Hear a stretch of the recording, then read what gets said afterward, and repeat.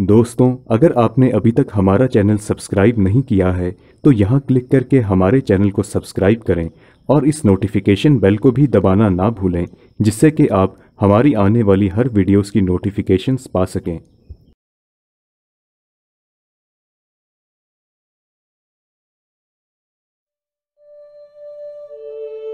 दोस्तों, mysterious nights India के इस एपिसोड में आपका हार्दिक स्वागत है। ज़िंदगी और मौत एक ऐसा रहस्य है, जिसे जितना सुलझाया जाए, वह उतना और उलझता जाता है। इंसानों की आत्महत्या करने के बारे में तो आप सुनते ही आए हैं, लेकिन क्या आपने कभी जानवर या पक्षियों की आत्महत्या करने के बारे में सुना है?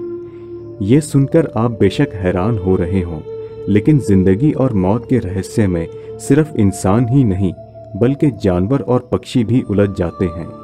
तो आज हम आपको कुछ ऐसे ही स्थानों के बारे में बताएँगे, जहाँ जानवरों और पक्षियों का आत्महत्या करना आम बात है।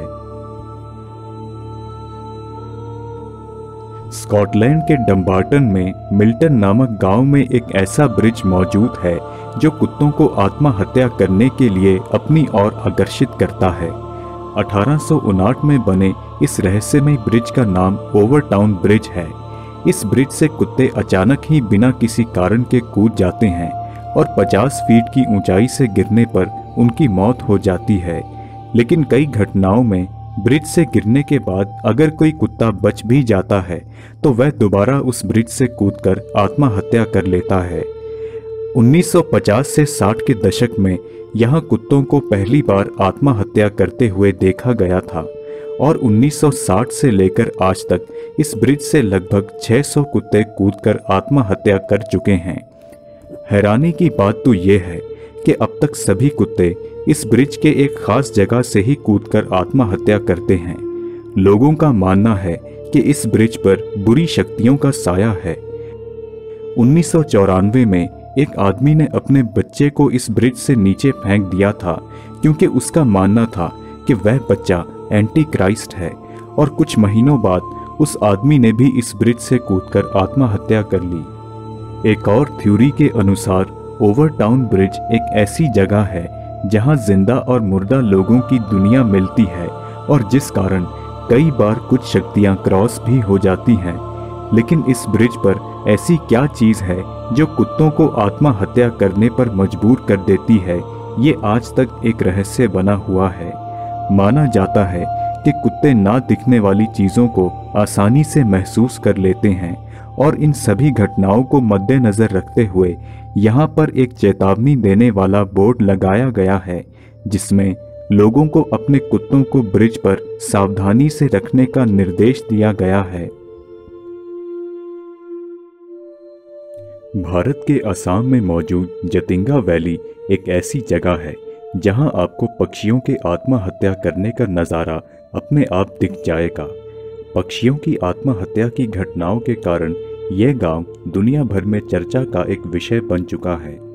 जतिंगा की कछार नामक घाटी की तलहटी में कूदकर हज़ारों पक्षी एक साथ एक खास मौसम में आत्महत्या करते हैं। इसका क्या रहस्य है? इस बात पर वैज्ञानिक अब तक कोई खुलासा नहीं कर पाए हैं।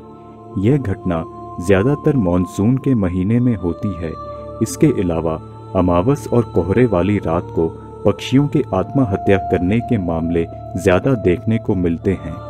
लोगों का मानना है कि यहाँ पर भूत प्रेतों का साया है, जबकि वैज्ञानिकों का कहना है कि तेज हवाओं के कारण पक्षी अपना संतुलन खो बैठते हैं और आसपास के पेड़ों से टकराकर उनकी मौत हो जाती है। भारत सरकार ने इस गुत्थी को सुलझाने के लिए मशहूर पक्षी विशेषज्ञ डॉक्टर सेन गुप्ता को नियुक्त किया था। डॉक्टर सेन गुप्ता ने लंबे समय तक अध्ययन करने के बाद कहा कि पक्षियों के इस असामान्य व्यवहार का कारण मौसम और चुंबकीय शक्तियाँ हैं और बरसात के मौसम में जब कोहरा छाया हुआ हो और हवा चल रही हो तो शाम के समय जतिंगा घाटी की चुंबकीय शक्ति में तेज़ी से बदलाव आता है।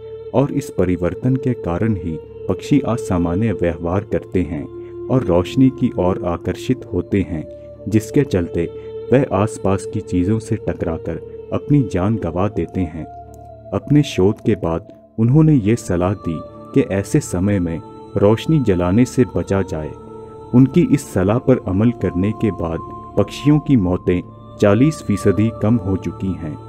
लेकिन बात चाहे जो भी हो, यह स्थान पक्षियों की आत्महत्या के कारण दुनिया भर में तो रहस्य बना हुआ है। तो दोस्तों, आप अपने विचार हमें कमेंट्स के माध्यम से ज़रूर बताएँ। अगर आपको ये वीडियो पसंद आई तो इसे लाइक ज़रूर करें और अपने दोस्तों के साथ शेयर भी करें। हम जल्द ही आपसे अगली वीडियो में मुलाकात करेंगे। तब तक के लिए इजाज़त दीजिए।